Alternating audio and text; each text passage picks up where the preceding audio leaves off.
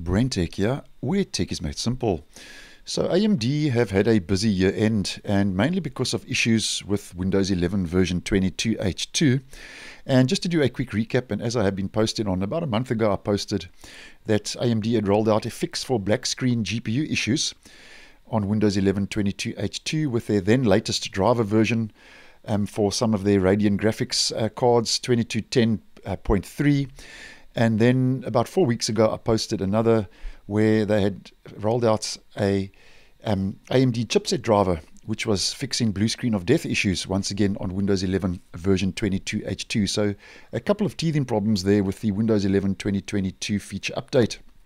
Now, on that note, um, AMD have rolled out another um, driver update for Windows users. And if we just head over to the release notes, that's for their Adrenalin Edition, and that um, latest driver is 22.12.2 for AMD Radeon RX 7900 series graphics cards. So if you are running one of those, you may find some of these fixes to be of interest. Now, they have rolled out four fixes with this latest um, graphics GPU driver update for Windows users. And the first is um, they fixed corruption issues that may be encountered when using virtual super resolution with multi display configurations.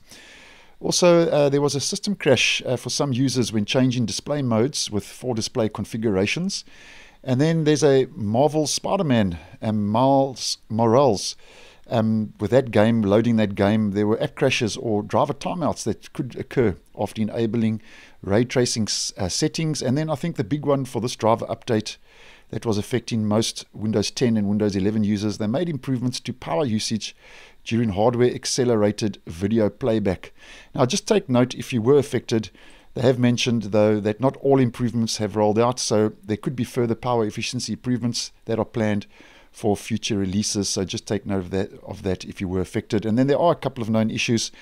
Um, just to go through one or two of these quickly, um, there was a high idle power issue that um, had been observed when using select high resolution and high refresh rate displays.